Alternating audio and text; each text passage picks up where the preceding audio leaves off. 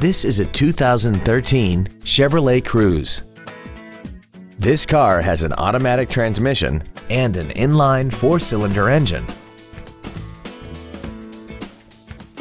Features include alloy wheels, air conditioning, cruise control, a CD player, dual airbags, full power accessories, a rear window defroster, traction control, a remote entry system, and this vehicle has less than 19,000 miles.